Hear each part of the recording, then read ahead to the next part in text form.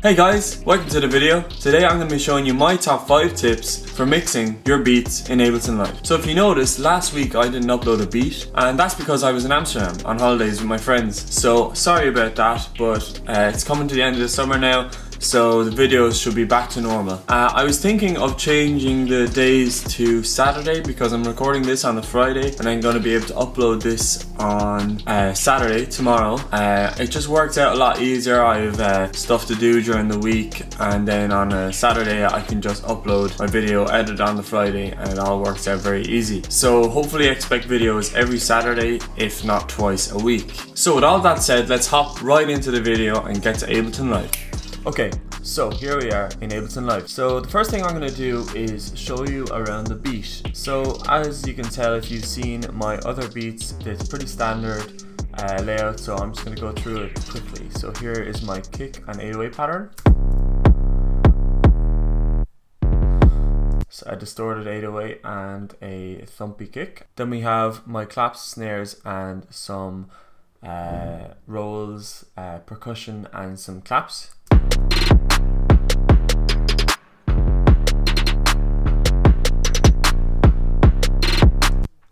So quite a few elements there, so we'll get on to the mixing them later.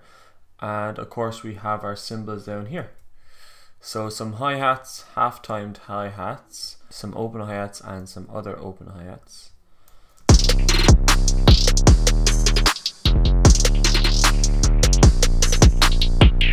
My signature tag with the glass.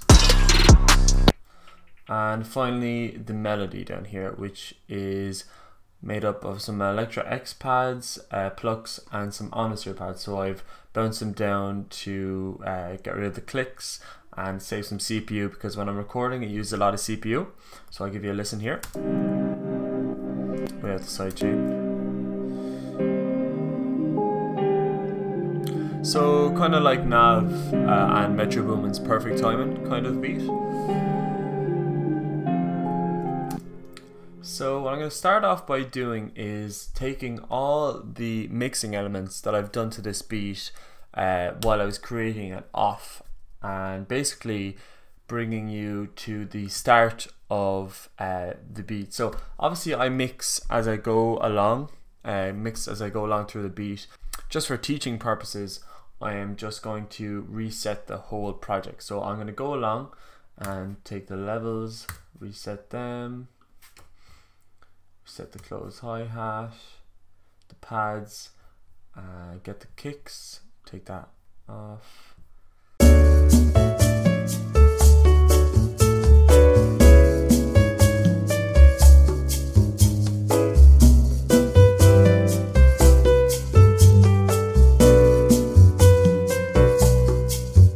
So, as you can tell, the project has changed, both visually and audibly. I'll let you listen now. Now that's actually kind of hard to listen to. As a person who's been mixing for about two and a half years making music, it really it's really hard to listen to music that you know has potential to sound good, but it just it, a small few effects. The five tips I'm going to show you today would make this beat so much better. And guess what? I'm going to show you. So a simple thing that you wouldn't expect from a mixing tutorial is um, labeling. Now you might be thinking, Luke, this isn't technical, but I think it's a key factor to mixing. So labeling is a general way to say uh, labeling all these uh, little bits here and my channels here, my groups. So what I'm going to do is I'm going to run through what my uh, process is. Again, I do all this uh, as I work on the beat, but it's just for teaching it. What I do is I label all my drums green and all my uh, like kind of musical elements blue. And a quick way to do this is just highlight it all, right click on any block and select green. So it doesn't have to be green, uh, it can be any color you want, so it can be yellow, whatever. I just like to keep mine green, always done it, two and a half years, just doing it all the time. So I'll go down here, my pads, blue.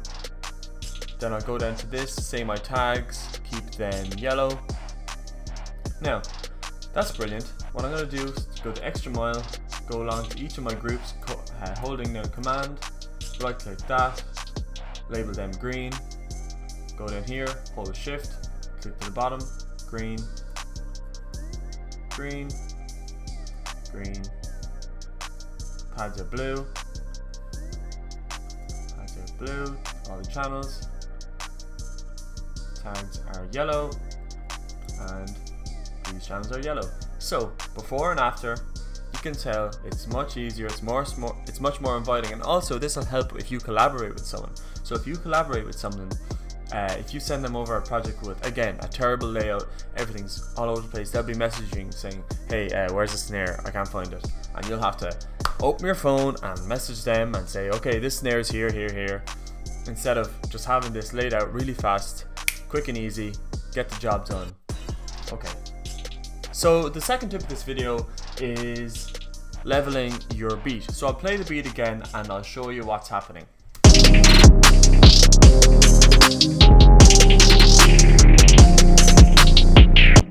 So, if you listen to uh, the beat before and after, uh, that might sound okay, but I'll tell you now, the hi-hats over here and the snares do not have to be as loud as that kick.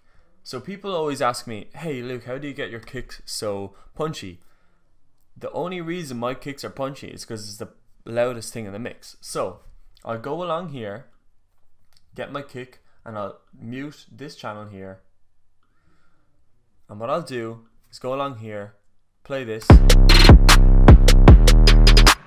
And what I do is I decrease it by 5, see if that helps. So already, I can tell the kick seems a bit more punchier, the claps seem a bit weak, but we'll get to that later on. Again, we'll go down to our cymbals.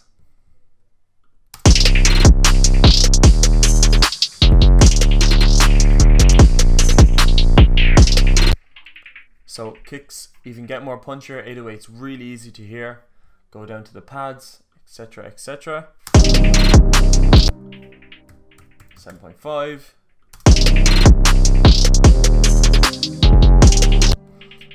and the glass here this is going to be quite loud so I'm going to turn it down to minus 10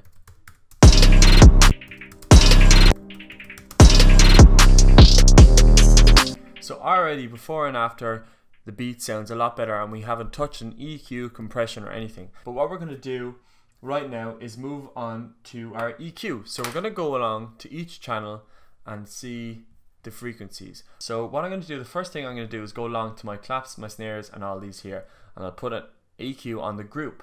So if you don't know how to make a group, I'll just take two out here and say I wanted to add these to the group. I'm going to hold, I'm going to click my perk, hold down shift, drag it over here and it's in the group now.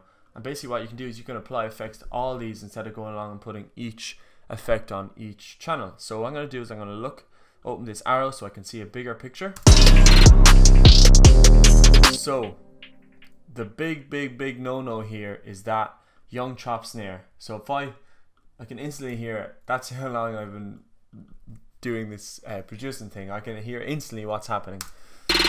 So even though you can't hear it, it's not like a kick drum. It hasn't that blow end rumble. There's still low frequencies in there, um, but you don't need them because the main kind of character of this snare is around here this. So if I cut this out and here, that character, that snare is gone. But the low end is not adding anything. In fact, it's actually taking away from other elements. So what I'm going to do is I'm going to get a low cut and just slowly bring it up.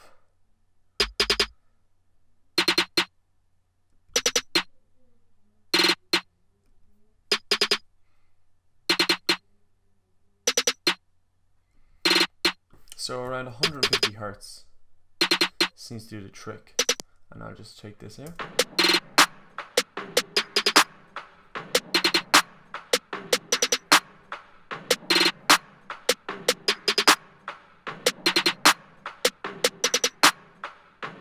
So there we go, a little more space, maybe even 175.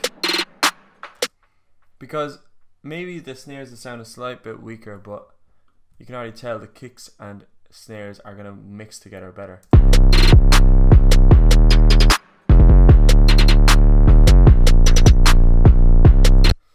And we're going to do the same thing for the cymbals. Now the cymbals you can really take the uh, EQ up really hard because again these do not need any low end so you can really bring it up.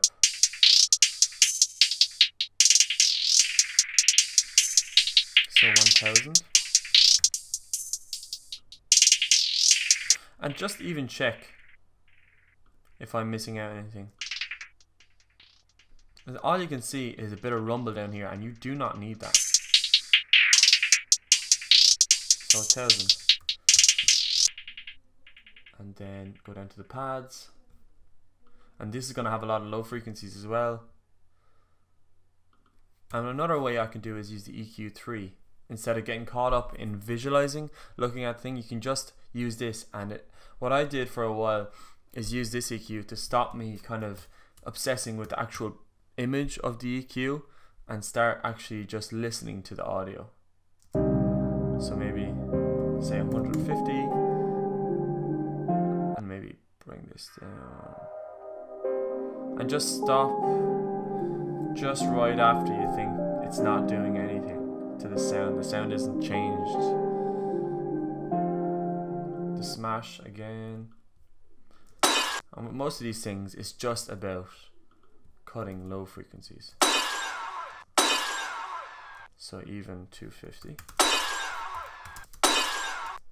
Okay, so that's our EQ. Next thing is compression. So you can tell up here, our kicks after actually losing a bit of punch.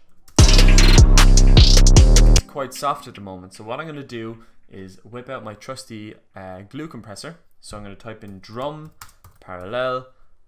This preset is amazing. I don't know how people don't use it more, but all I've been doing is is using this constantly on my drums and it always makes them sound really really punchy.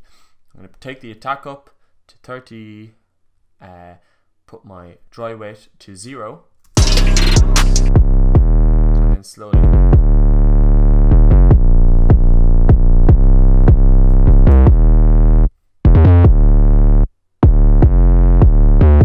Then I'm going to go down to my actual kick, apply some more compression.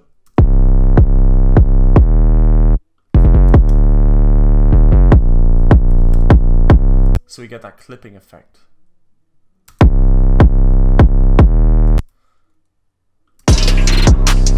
So kicks already after getting very, very way more stronger. So we're gonna do the same thing, compress some hi-hats. compress our hits, sorry.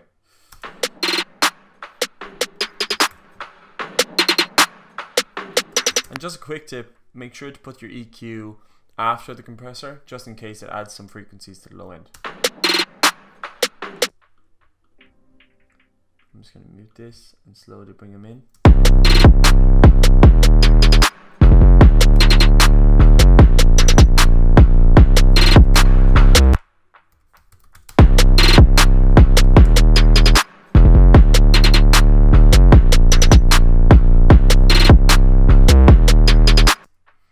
Now do the same thing to our cymbals. Have this preset here.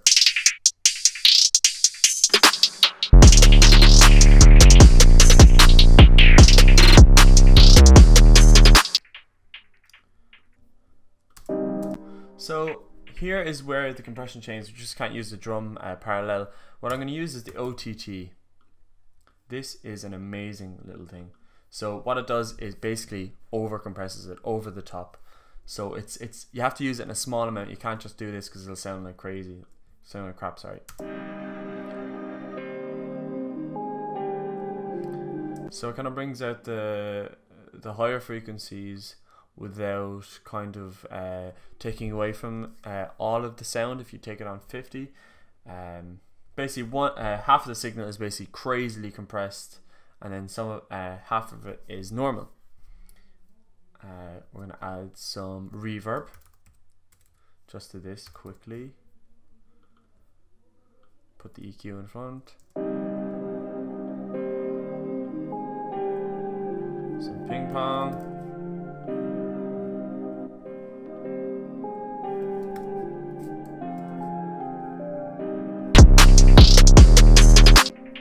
And the last touch we have here is some sidechain compression. So I think I've covered it in most of the videos, but if you haven't seen any of my other videos, you'll know that sidechaining uh, no, if you have seen my other videos, you'll know sidechaining is a big thing to me. And again, a lot of the times uh, I hear beats, the melodies are cool, but the kick isn't just punchy enough, and you need that punch because people associate that with good beats.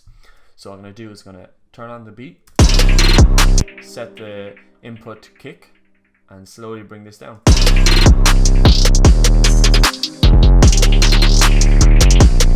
So my actual melody is not loud enough.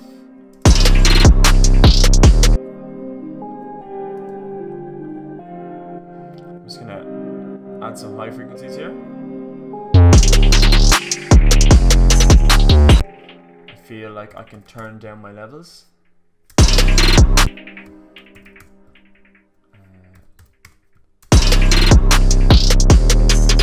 And the big thing about mixing is you can't just apply these um, kind of effects and just do it without listening to music. It's obviously a process of every beat's different, and as you work, you go along, you apply different effects. Um, so we have the sidechain here. There's sidechain on the 808, but that's already uh, preset. Um, my glass, my tag, that doesn't need any compression. The final tip of this video is panning. So panning in Ableton is quite simple and I only do it with a certain amount of instruments. So my rule of thumb is most of my drums are going to be in the center and my melodies are going to be wide. So what I'm going to do is go along here and listen to each aspect of this uh, this group of pads. I'm just going to loop where there's no sidechain. So you can hear that's a really main part of this sound. Then we have a small Rhodes. Uh, so these are two soft sounds. What I'm going to do is I'm going to put this 15 right, 15, 15 left, 15 left, and I'm going to leave this piano in the middle. But what I can do is have this float around the area so I can basically what it's going to do is going to slowly go around left to right automatically. And you can set the rate. So I like to set the rate to around a bar. So if I put the amount you can really hear it which is obviously too much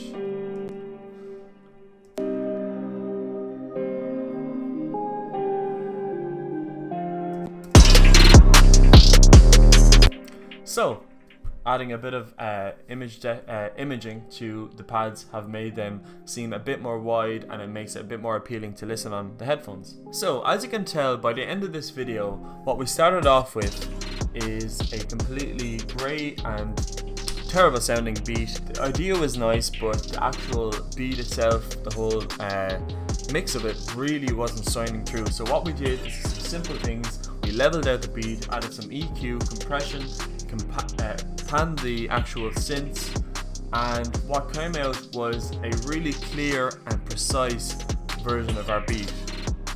And it's important to get the mix sound right because many people think when you send away a beat to a mastering service or to another engineer, say a rapper's engineer, they can make it sound a lot better. But no engineer can mix a WAV file. You need to do that himself or else you have to get someone else to mix it for you. But mixing is so simple that you really don't have to pay these crazy amounts of money unless you really, really, really want the best mix in the world. But most of the time, you don't. You just need simple tips like this get your mix sounding really, really good. So that's it for this video, guys. I really hope you enjoyed. Uh, I hope you uh, find these tips useful. Uh, let me know uh, what was your favorite tip. I don't think this is going to be the last mixing video I'm going to do. So what I'm going to do is maybe in the future come up with five more tips for you and uh, see if I can make another video for you. Leave a comment below if you enjoyed. Uh, let me know what kind of other videos you want to see and I'll see you in the next one.